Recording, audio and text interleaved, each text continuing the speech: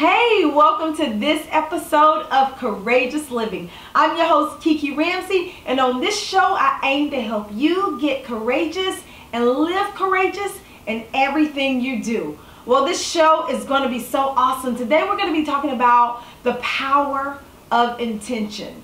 Intention is one of those things that you don't hear a lot about, but it's something that we should all be talking about because the truth is, we all should be setting major intentions for our lives. So don't go anywhere. Right after this, we're going to be talking about the power of intention in your life.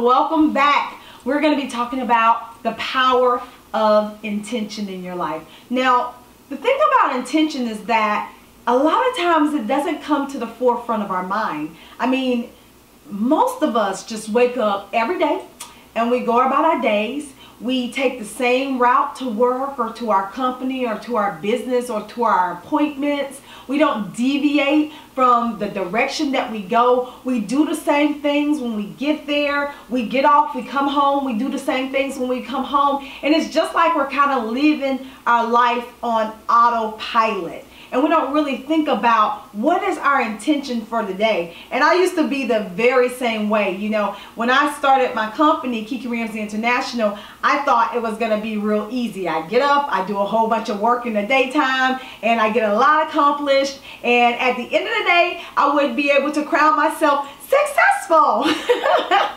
That's exactly how I thought it was going to go, but really it didn't go like that. Normally, I would get up in the morning because I knew that getting up early enough and praying or meditating was something that would start my day off right. So I would get up and I would do that. And then I would go to the gym. I know that exercise is something that is important for our body. So I would go to the gym around 9.30.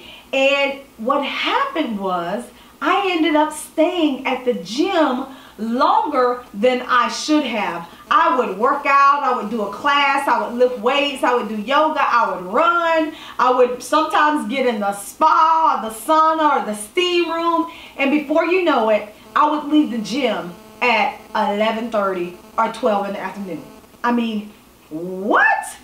My most of my day was gone when I did that. So I would get up early, but I would leave the gym after I worked out about 11:30, 12 in the afternoon. So now I go home and I'm hungry, so I need to get something to eat.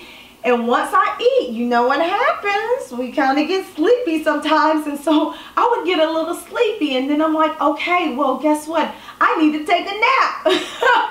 because sometimes when you're working from home, that bed is very convenient. And I just wanted to lay down and take a nap. And some days I did lay down and take a nap. And guess what? I would wake up a couple hours early or a couple hours later and I still had not done any work. I mean, wow. And so then I wake up and I'm frantic because I haven't done any work. And then I look at my little list and I say, okay, I have to get something done before the day is over with. And I do something minor just to say I did something on my list and then the day is over with. Because after that, I got to either cook dinner or get ready for something else at uh, later on in the night. So that was how my day went. And it went that way a lot because I didn't set an intention for myself. I didn't have my goals. I didn't know what my day was even going to look like. And I know that a lot of us have very busy schedules. We have very busy careers and businesses. But I'll tell you what, if you do not learn how to set intention for your life, then even that business, you won't reach your goals. And that's what happened to me for a very long time before I learned how to set an intention for my life and for my day. And so what is an intention? It's really a plan. It's a goal. It's a it's an objective. It's an aim. It's somewhere where you're trying to go to, where you're trying to get to in your life. And I believe there are just a couple key things that you need to do in order to be able to set amazing intentions for your life. And so, number 1, thing that you need to do when you are trying to set an intention is that you need to wake up every single morning. Every single morning and set your intention. What is it that you want to do for that day? You got to really be mindful about what that is.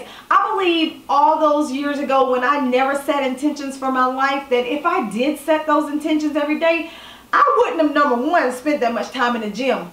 I love working out, but you can I can still get done uh, what I needed to get done with working out less with less time. And so I believe that I would have been way more successful during that time in my life had I set intentions for my day. So what I want you to do is I want you to wake up in the morning and set your intention.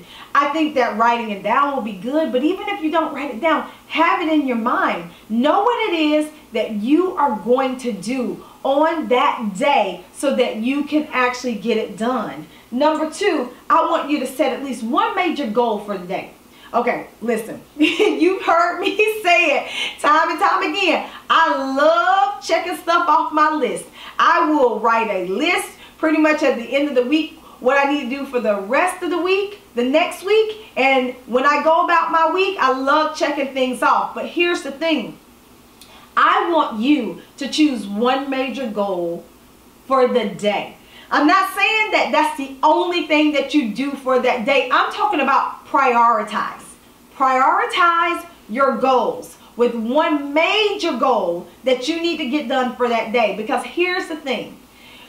We learn and we want to be and do what's easy. So a lot of times we start with what's easy on our list and we work our way up. But what I'm saying to you is if you set one major goal, you start with that goal. And if you get that, if you only get that goal done, you've been successful. You are a success for that day because you set out to do that one goal. And that goal needs to be what's most important to you in your life for that day. That's what you need to set. Set one major goal. When I started to do that, I started to see more results happen in my life. I started to see that I was getting closer and closer to reaching my goals of being successful or writing my book or, you know, speaking engagements. I learned to set that one major goal every single day. Every single day. And lastly, I want to say you have to let go of limiting beliefs in your life. Um, a lot of things can happen and of course a lot of things can go wrong but when you start to think negatively about your life and what can go wrong and what can go wrong in your daytime and you start making all kind of excuses as to why you can't get things done that is a limiting belief and when you start making those excuses and thinking about those excuses in your life you start to go downhill. Things start to fall apart and go downhill. And at the end of the day or the end of the week, you feel really bad about your accomplishments, but you actually limited, you limited yourself in your thinking from the very beginning. And so I had to learn how to stop saying negative things to stop making all kind of excuses for why I didn't get things done during my day and I had to really truly get serious and get real about what it is I wanted to do in my day and in my life and in my week. I had to get serious and so do you. So I really want you to know that if you do this, the power of intention can absolutely change your life. It can change the trajectory of your path and the way that you are supposed to go. so listen, practice these three things. Practice these three things. Number one, set an intention every single morning. Number two, make one major goal. And number three, truly, truly stop limiting your beliefs. All right, so I hope these help you this week. Listen, what I want you to do is I want you to every single day this week, starting with tomorrow, to wake up and set your intention for today. And when you set that intention, I want you to let me know over at kikiramsey.com on our blog what your intention for today is. And I want to know your thoughts on how intention can actually change your life. Until next time, I want you to live courageous.